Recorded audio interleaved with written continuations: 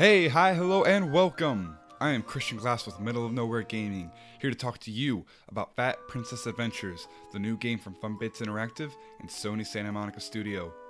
Six years after the original Fat Princess, players return to the world of Great Bitten to save Princesses Muffin Top and Plump from the evil Bitter Queen.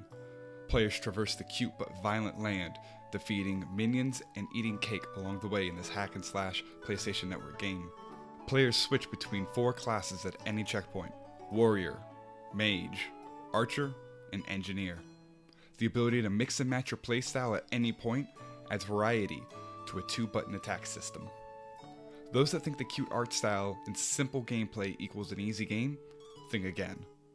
The game is definitely meant to be played with partners, and those that don't will be forced to suffer waves of death to enemies that overpower and outrun you at first sight. Now, all of this may sound like a negative, but in a time of non-stop AAA games with 100-hour campaigns, Fat Princess Adventures offers a cute and mindless substitute players and friends can jump in and out of at a whim. This sort of baby's first Diablo gameplay is made up for by a genuinely funny game, with enemies with names like Giru the Chopper and Skeletor. One of the highlights of the game is a dancing number a la The Little Mermaid, featuring a perfectly out of place Barry White song. Like just not enough, baby.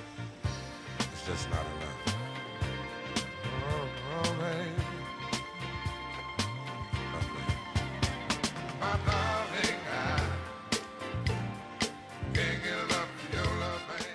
In addition, there's nothing backbreaking about the game, but there are little things that start to add up.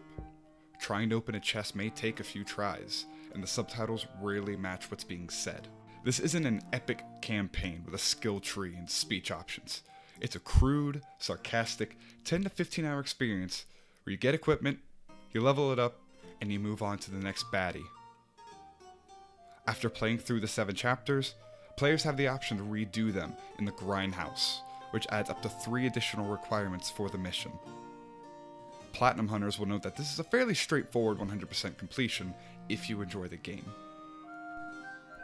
So to recap, the $20 price point feels a few dollars too many for what most people will use as a simple one and done run.